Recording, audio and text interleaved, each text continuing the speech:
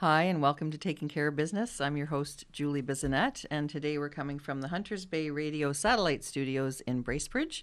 And joining me today is Elke Scholz, um, artist, registered psychotherapist, EMDR. I mean, you've got a long list of uh, letters behind your name, Elke, so thanks for joining us here. How are you doing this morning? Pretty good. Good. Yeah, thanks, good. Julie. Yes. Well, thanks for being on the show with us today.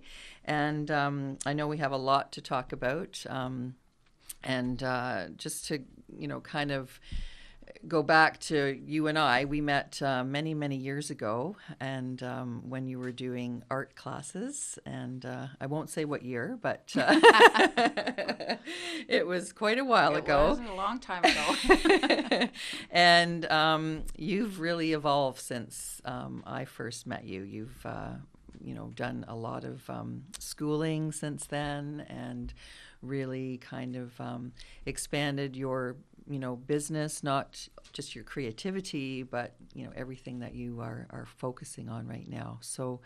Um, I just want to talk a little bit about that Sure. and, and kind of your journey. So, um, so really, you're you're a registered psychotherapist. Um, that's one of your, I guess, uh, your titles, yeah. and um, also a certified EMDR therapist in Canada and the U.S. And um, and still, you still do a lot of expressive art consulting as well, as is what I understand. They all they sound like they're separate, though they're Mm-hmm. not. So, and I think you know, you asked me before, you know, how did some of that piece start?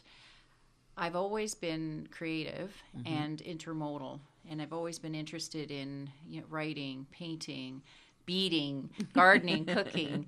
I, I just need to do things and make things. I love fixing things, all that. So it all fits. And the interesting part with art therapy and expressive arts therapy, I came to that after I I produced my book. Mm-hmm. I learned the expressive arts world and that there was actually a degree out there. And so I went back to school. And I really just did one semester at a time. Mm-hmm. It was just so daunting for me. However, that's that's how I did it and then I knew I needed to get my master's, so I went ahead and did that.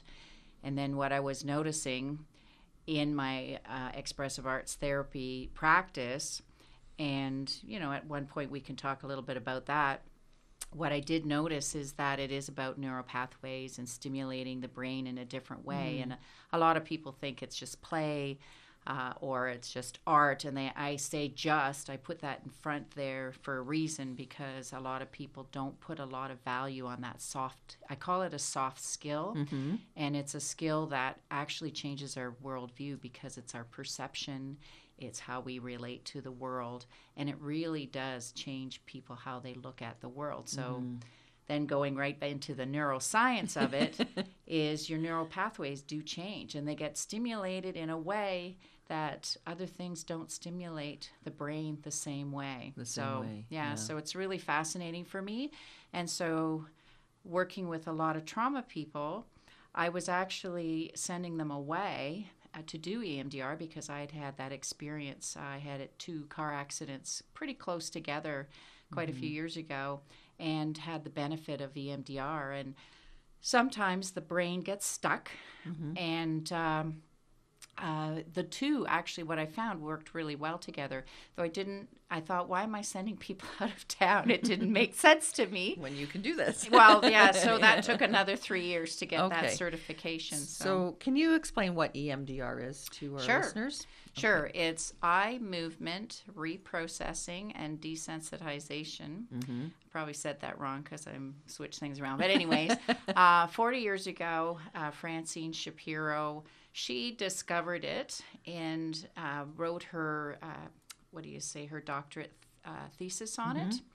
And it became very famous uh, for the veterans in the States. So a lot of people uh, equate EMDR to a post-traumatic stress and the, the uh, Vietnam veterans. It was uh, very, it may, it, it became very famous with helping the veterans, where a lot of these veterans were stuck.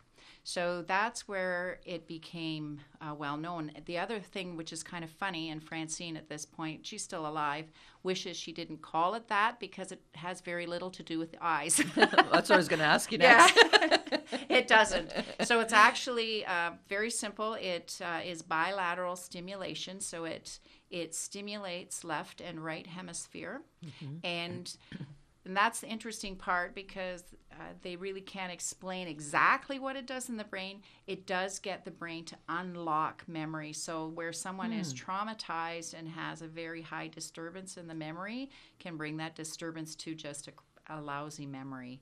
So, um, that's what it's really beneficial. And I tend to use them.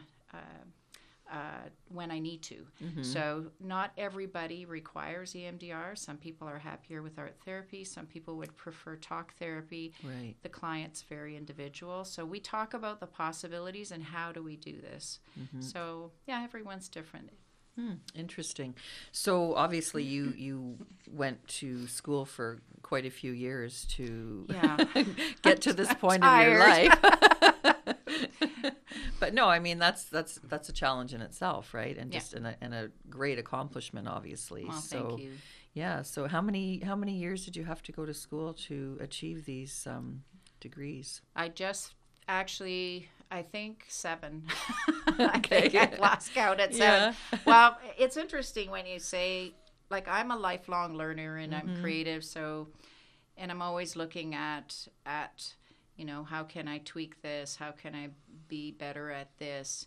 And I think looking at the therapy is looking at those pieces that made sense for for my practice for here the work that I want to do so yeah, I feel like, and last year I, I got my last accreditation. It's okay. an international accreditation, and that's the Registered Expressive Arts Consultant Educator. So, mm-hmm. and that feels like that's okay now. You know, I can mm-hmm. take a a rest. Take a rest, yeah, yeah, good. I hope so. well, not, and, and, it's not really a rest. So, anyways, uh, a rest with that that stuff for now. I still take courses. I still do a lot of reading, of course. Mm-hmm. You know, well, it's we ongoing do. learning, yeah. right? Yeah, absolutely. Right. So, I I went on your website just so you know, and, yeah, thank um, you.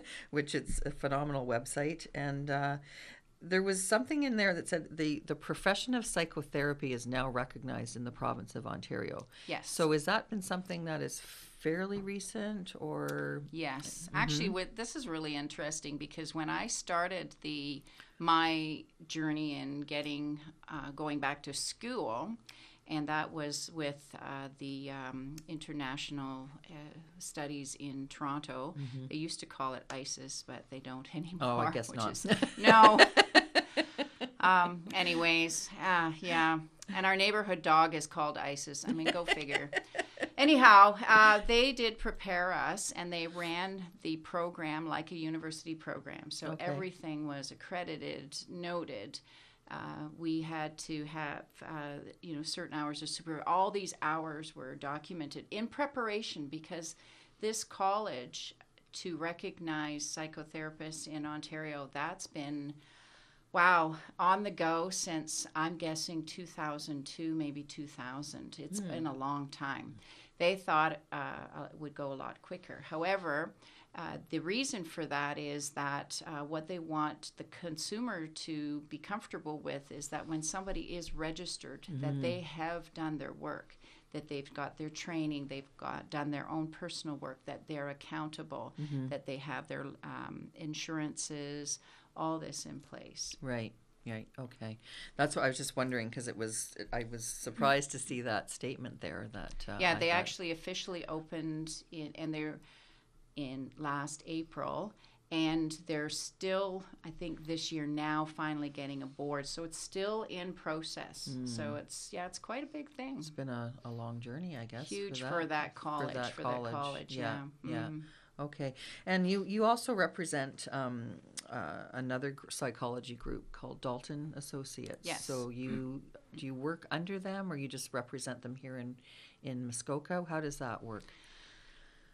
Wow. Um, It's kind of like a, a separate part of my practice. So Okay. I work under them and with them, Okay. both. And the cool part about that is that people are able to access their extended healthcare insurance because Okay. it's a psychological service. Mhm. And uh, at the